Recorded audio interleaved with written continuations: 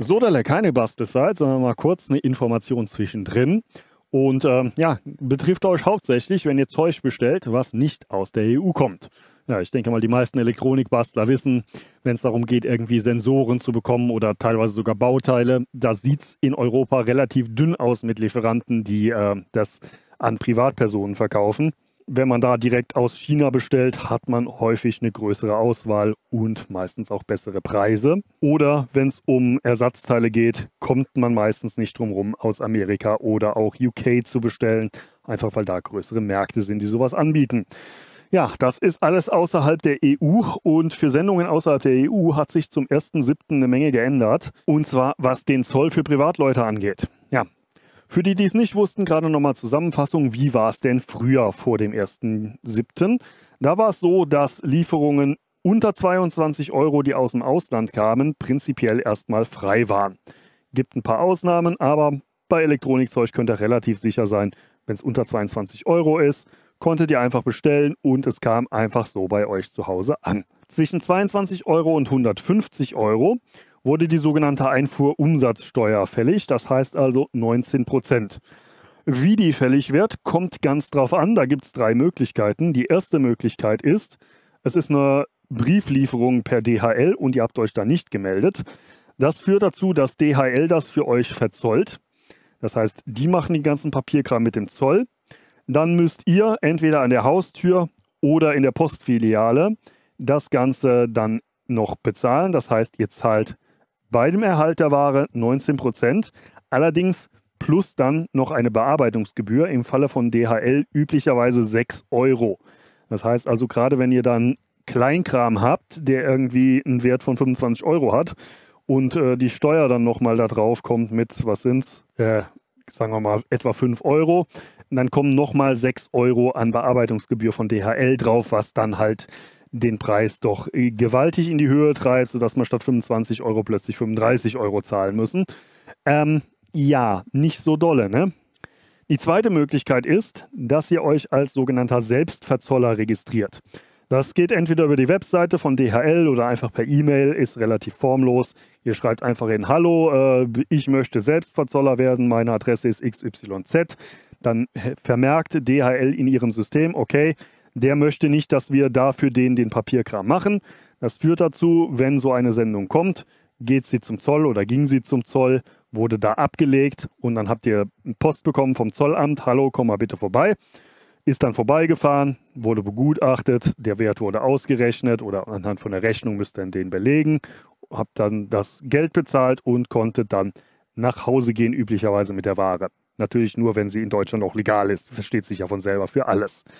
Äh, Vorteil bei dieser Sache ist, ihr habt nicht die 6 Euro Zollgebühren oder Verzollungsgebühren von DHL, sondern ihr zahlt wirklich nur die 19% Einfuhrumsatzsteuer üblicherweise. Das ist gerade dann interessant, wenn das nächste Zollamt halt nah dran ist. Wenn ihr natürlich irgendwie 60 Kilometer zum Zoll fahren müsst, dann können die 6 Euro Sinn machen, aber naja, müsst ihr dann selber entscheiden. Die dritte Möglichkeit ist die Übersehens, das heißt, ihr kriegt die Ware nach Hause.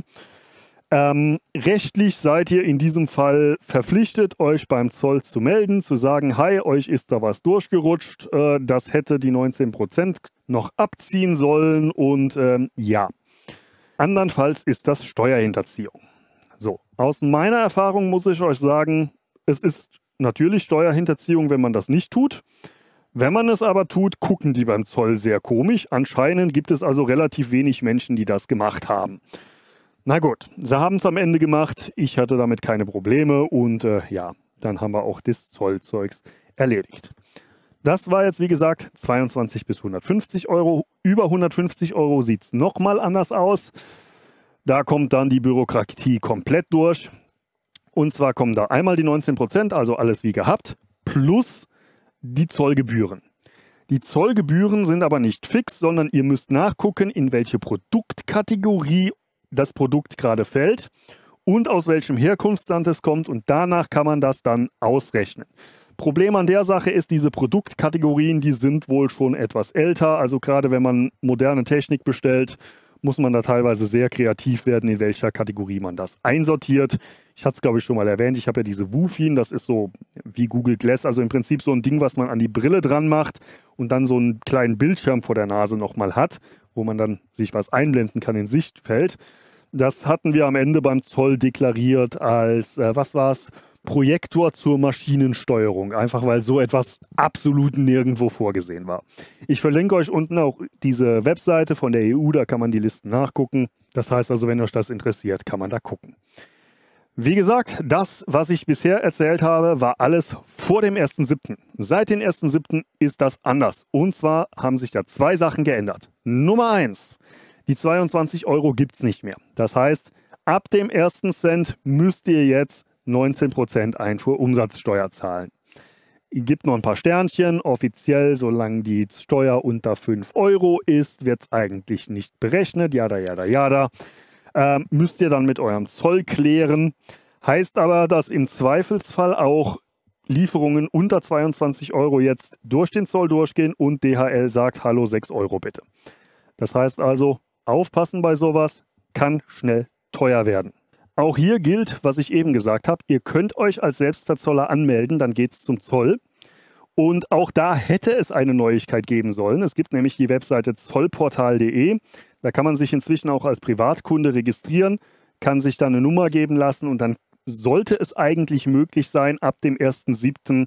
die Sachen online zu verzollen, dass ihr einfach dann, keine Ahnung, die Rechnung zum Beispiel hochladet oder eure Kreditkartenauszug und das dann quasi remote geht. Ihr schickt es einfach hin, der Zoll schickt es per Post zu euch weiter und die Zollgebühr würde nicht anfallen.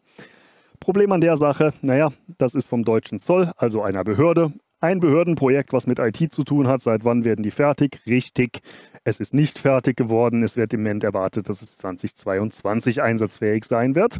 Also fürs Erste seid ihr nach wie vor damit beschäftigt, entweder 6 Euro zu zahlen oder zum Zoll zu fahren. Der zweite große Punkt, der sich geändert hat, das betrifft erstmal nur Händler, aber naja, die Händler geben uns ja alles weiter, von daher natürlich auch den Käufern. Das ist das sogenannte iOS-System, IOSS. Das ist äh, das sogenannte Import One-Stop-Shop-System. Das ist etwas, was sich die EU ausgedacht hat. Und ich muss sagen, gefällt mir. iOS heißt, dass der Händler im Ausland vorab die Ware anmelden kann und die Mehrwertsteuer abführen kann oder Einfuhrumsatzsteuer. Sorry, Einfuhrumsatzsteuer ist es ja. Das heißt also, ihr könnt zu einem ausländischen Shop gehen, könnt da kaufen und wenn der da mitmacht, rechnet der am Ende die 19% automatisch drauf. Ihr habt die Steuer schon bezahlt und es geht direkt durch den Zoll bis zu euch nach Hause. Keine Diskussion groß mit dem Zoll üblicherweise, keine Diskussion mit DHL, keine Bearbeitungsgebühren, ist alles vorab abgefertigt. Ausnahme, das gilt nur für Waren bis 150 Euro. Bei Waren über 150 Euro bleibt alles beim Alten, dass ihr gegebenenfalls noch die Zollgebühren zahlen müsst. Warum ist das interessant? Naja, anscheinend haben sehr viele Händler sich gedacht, klingt nach einer guten Idee und sehr viele große machen damit. Ich selber habe es jetzt in den letzten Tagen schon bei AliExpress und bei eBay gesehen und das ist natürlich ganz praktisch, wenn man jetzt da einfach in den Shop gehen kann, sich was zusammenklicken kann, bestellen kann und sich keine Sorgen machen muss, dass das Ding irgendwie beim Zoll dann nochmal aufschlägt und man da die Gebühren noch hat von DHL. Setzt natürlich voraus, dass das Ganze richtig deklariert wird. Aber gerade bei äh, AliExpress oder auch eBay habe ich da relativ wenig Bedenken, weil das halt nicht die eigentlichen Verkäufer sind, sondern Dienstleister für Transport und Versand und Blafu. Das heißt also, ja, die haben nichts davon, da zu betrügen. Von daher machen die das wahrscheinlich auch eher nicht. Es gibt natürlich immer Möglichkeiten, aber prinzipiell sollte das eigentlich Pi mal Daumen passen und ihr bekommt ja auch eine Rechnung, das heißt, ihr habt dann auch irgendwie was zum Nachweisen.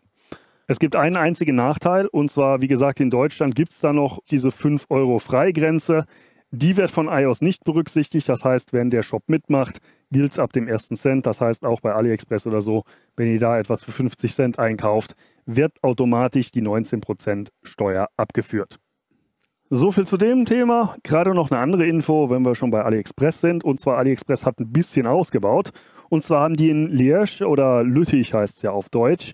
Das ist eine Stadt in Belgien. Ein bisschen sehr viel ausgebaut. Und zwar äh, haben die da ein Versandzentrum oder Logistikzentrum hochgezogen. Aktuell sind das 30.000 Quadratmeter, die sie da über ihr äh, Kainyanao, äh, deren Logistiksparte auf jeden Fall gebaut haben. Äh, es gibt noch da ähm, Optionen, das Ganze auf 220.000 Quadratmeter zu erweitern.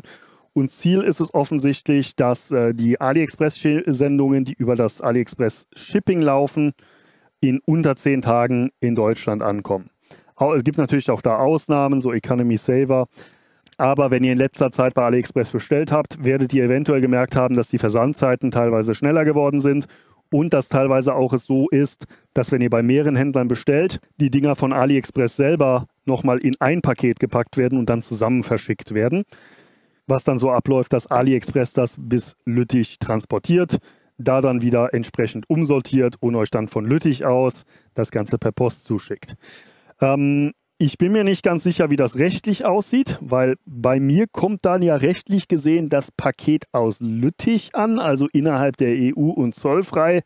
Ich würde aber im Zweifelsfall da, wenn ihr Sachen über 150 Euro, wo dann ja jetzt auch noch Zoll fällig würde, bestellt, würde ich das an eurer Stelle nochmal vorher oder nachher mit dem Zoll klären. Äh, einfach gerade anrufen, fragen, hier, passt mal auf, so und so. Ich habe es in China bestellt es, ich weiß, es ist aus China geliefert worden, es kam aber aus einem europäischen Versandzentrum. Gut, genug gequatscht. Ähm, ihr seid jetzt, denke ich, wieder auf dem aktuellen Stand, wisst, was sich da geändert habt und äh, ja, ich kümmere mich mal wieder um richtige Videos.